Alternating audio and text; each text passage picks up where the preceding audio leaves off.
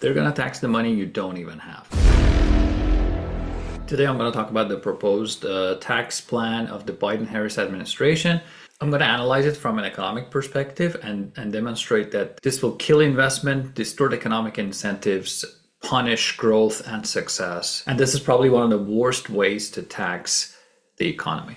At the moment, you pay uh, tax on realized capital gains. As an example, if you take $1,000 and invested in some sort of fund uh, in the S&P 500, uh, and and next year it goes up by 10%. So now you have $1,100 uh, in capital gains. But that gain is still not realized because you haven't sold it and you haven't actually uh, acquired any any cash from your investment.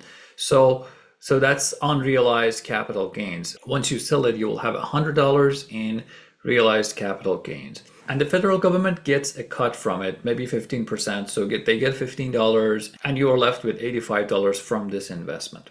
So that's the capital gains tax. But now they're coming up with this idea of taxing unrealized capital gains. Uh, and this is when they they tax the money you haven't actually earned. So you put some money in an asset and it appreciates, and you automatically owe taxes even before having uh, realized any of those gains. And this can have devastating consequences uh, on many, many different aspects of the economy and personal finance. First of all, your unrealized gains change all the time. Every minute, price of assets change, and and the amount you go, owe to the government changes. So it makes computations very difficult, and uh, policing it will also need uh, a larger infrastructure and even more cost burden on the public. Another factor is it makes personal finance very, very complicated because after you invest in something and it grows, well, all your, all your money is in that investment and you still haven't earned any, any of the cap gains yet. But the government wants you to pay taxes on it, meaning you have to find additional cash from somewhere else. So that means you'd have to pull money from some other investment or some other source or, or just sell your original investment to pay the taxes. And uh, that makes life really difficult for individuals. But the story doesn't end there. The fact that you have to pull money from another productive investment um, means that that other investment is hurt. Uh, some asset is getting sold. And imagine millions of people having to sell at the same time uh, their investment in other assets. So you get widespread crash in a variety of assets. Credit explodes. Borrowers who have put up some other investment as collateral will suddenly see that their investments are worth a lot less and they get margin calls from the banks. And now they have to scramble to get cash and sell those investments. And this triggers a death spiral because uh, forced sellers that have to sell to to respond to the margin call will also cause the asset prices to further go down and create more problems for other borrowers and then and liquidate them as well. So you see massive liquidations uh, all over the economy and this uh, causes havoc in the financial markets. But the story still doesn't end there. Apart from financial crisis that this will create, it also destroys the fabric of the economy. So it distorts economic incentives and wastes economic energy.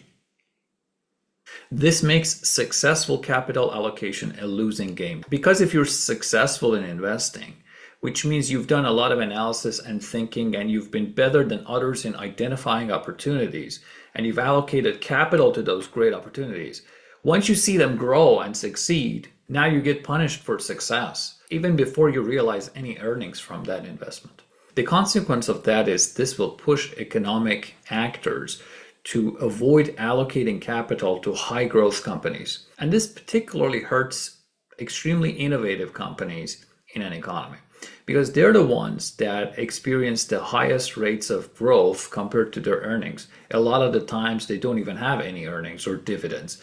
It's uh, basically you're investing in a growth company that has a wonderful idea, but it needs many, many years of investment for anything to appear.